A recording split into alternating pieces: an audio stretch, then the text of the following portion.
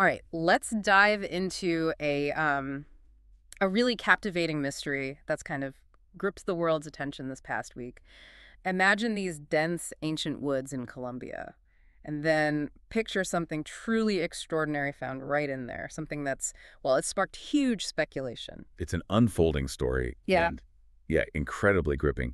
We're talking about the Buga sphere. Hmm. It's this enigmatic object that almost overnight became the internet's biggest puzzle. Hmm. Really launched a global conversation. And the speed, the way that speculation just erupted online, driven by those first X posts, it just shows the draw of these mysteries. It's Monday, June 23rd, 2025, and yeah, the digital world is absolutely buzzing. It all started just yesterday, June 22nd.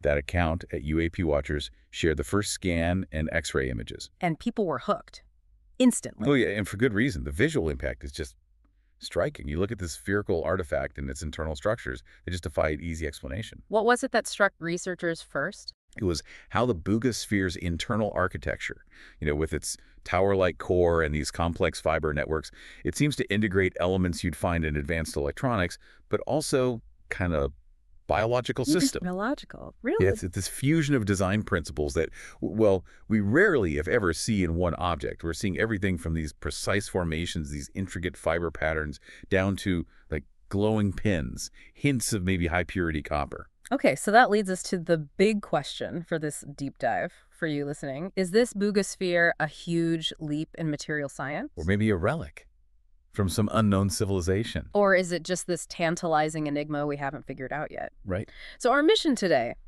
unpack the visuals, dig into the science, explore some really surprising historical links, and think about the bigger picture. We want to give you that shortcut, you know, get you up to speed on this discovery, hopefully with some aha moments and uh, definitely some curiosity. And it's fascinating how quickly just the visual evidence sparks such intense debate. That first X post, uh, ID 1936781488930547279, had four key images. Okay. The first was a CT scan.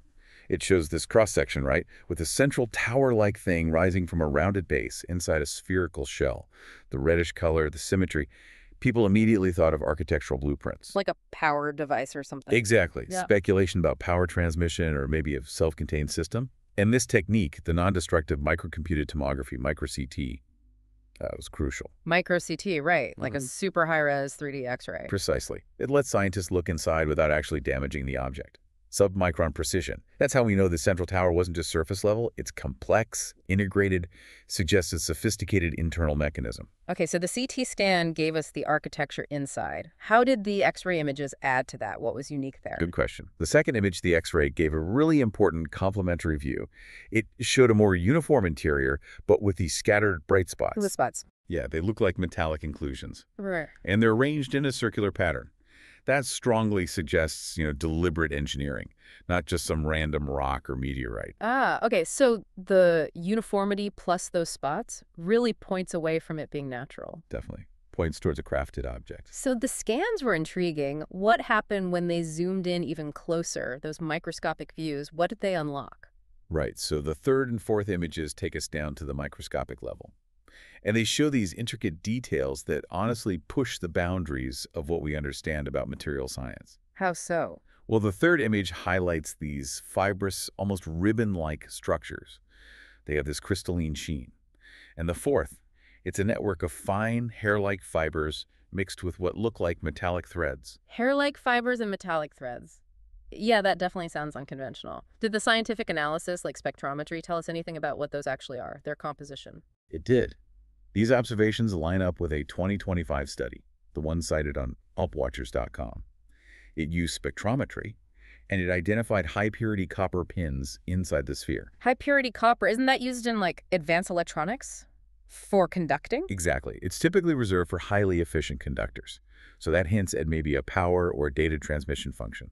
And this mix, the combination of what seems to be organic-like fibers and metallic elements, Hmm. it's not just unusual. It fundamentally challenges how we think materials are engineered. So, what are the possibilities? Well, it begs the question, could this be a bioengineered material, something grown or synthesized using biological processes, not just fabricated? like how nature makes strong, flexible structures. Kind of like that, yeah. Mhm. Or is it a composite completely unknown to modern science? Blending things in ways we just haven't mastered yet. And beyond spectrometry, you mentioned scanning electron microscopy, SEM. What did that show, especially in terms of like hard data? Right, SM gave us an even closer look at the surface and composition. The SEM data, there was a table of optical fiber characteristics mentioned. It provides some quantitative evidence of advanced materials. Okay, like what? For example, it noted a 52% fiber content, and the diameters of these fibers had an unusually wide range from 40 up to 350 micrometers. That seems variable. Very variable. And that variability, plus their crystalline sheen, it points to an advanced material designed for flexibility and strength. Maybe something that could handle extreme conditions beyond what normal single-filament fibers can do. Wow. Okay, so with these, I mean, astonishing visual and material findings, you'd think scientists would be all over it. But getting formal acceptance, that's not straightforward, is it? Especially for the scientific community. No, it really isn't. And that raises a really important point. The lack of peer-reviewed studies right now is a major hurdle. It severely limits the scientific community's ability to fully, you know, endorse these initial findings. There were some comparisons, though, right? Like in the news. Yeah, the Daily Mail mentioned comparisons to ancient scripts like runes or Mesopotamian writing. But look, those are speculative. Mm -hmm. Without proper archaeological backup, they remain just that. And physicists are calling for caution, too. Absolutely. Physicist Julia Mossbridge, as reported by the Jerusalem Post, really stressed the need for thorough vetting. Independent verification is critical.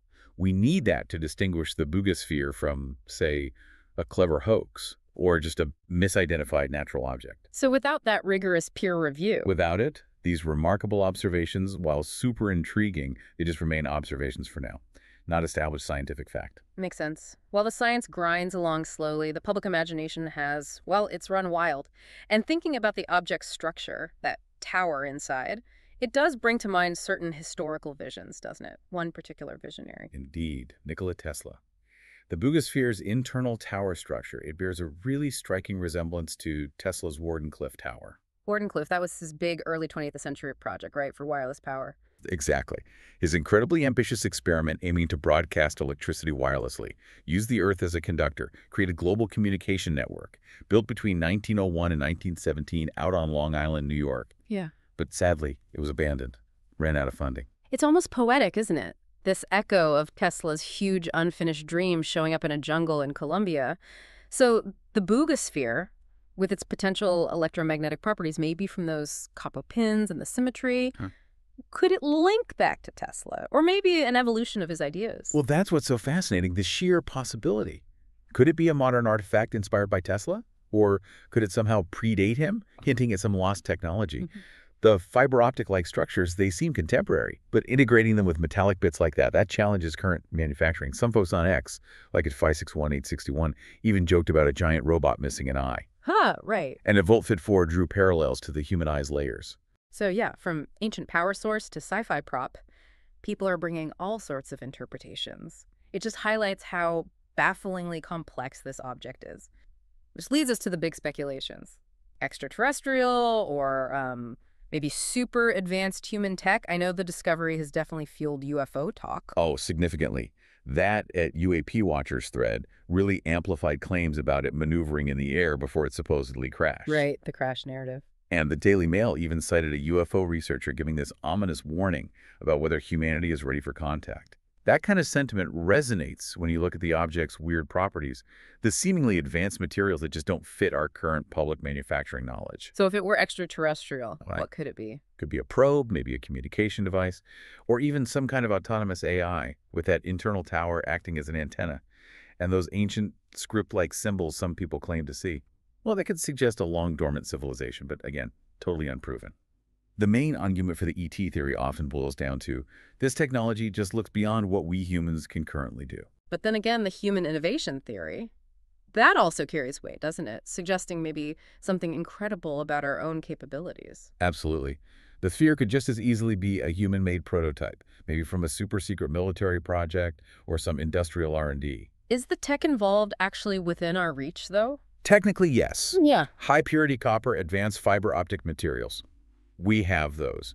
But maybe they're combined here in a way that's classified or just extremely cutting edge, not public knowledge. And what about those engravings someone mentioned? Yeah, Ed Big Bill Brasky noted some sort of amateurish-looking engravings, which, interestingly, might actually point towards human origin, maybe an experimental phase, rapid prototyping in a black project. Huh. So not necessarily ruling it out. Not at all. There was even that funny exchange between at Scroll Peace and at UAP Watchers about it just being a toy drone, Hmm. which kind of underscores the skepticism out there. But honestly, the detailed imaging we've seen, it really counters such simple dismissals. It points to something highly complex, purpose-built. The argument here is that human innovation, especially in secret, well-funded programs, can sometimes leap way ahead of what the public knows. Okay, so moving forward, what are the big roadblocks to figuring this out, and what are the key next steps for science? The biggest challenge right now for the Buga sphere story is the lack of official documentation and, crucially, peer review. Governments, scientific bodies, Mm-hmm. they haven't formally acknowledged the find. And that vacuum, it unfortunately leaves tons of room for conspiracy theories and misinformation. Which social media is great at filling. Exactly. So future research really needs to prioritize robust, independent methods, things like carbon dating, detailed metallurgical analysis. Find out its age, its precise composition. We also need advanced 3D modeling, structural analysis, try to figure out its potential function. So it's about getting it properly into the hands of the wider scientific community, beyond the initial buzz, applying that rigorous process. Precisely that. We need collaboration. Physicists, archaeologists, engineers, Yeah. all working together to figure out its purpose. Is it a technological relic? Or maybe just a natural anomaly misidentified as artificial? And public engagement. It's a double-edged sword, right? Which drives interest, which is good, but also spreads unverified claims. But maybe the effort to preserve Tesla's Warden Wardenclyffe site could be a model for safeguarding the Buga sphere, perhaps even setting up a research center right there in Colombia to study it systematically, transparently. So as of today, June 23rd, 2025, the Buga sphere is still. While it's a profound enigma, those CT scans, the microscopic images we talked about, they really hint at a technology that feels both familiar yet deeply alien. Blurs the lines. Yeah, and we've walked through the main theories. Is it linked to Tesla's amazing, maybe even prophetic legacy? Is it a genuine extraterrestrial artifact?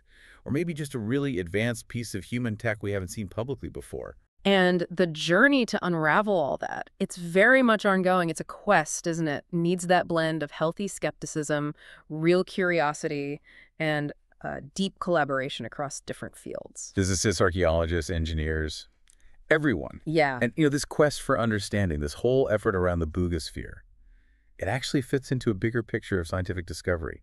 It feels very much aligned with ambitious goals like, say, XAI's mission to speed up human scientific understanding by tackling the universe's biggest mysteries. For now, though, the Buga sphere just sits there, silently, in the woods of Buga, like a silent sentinel.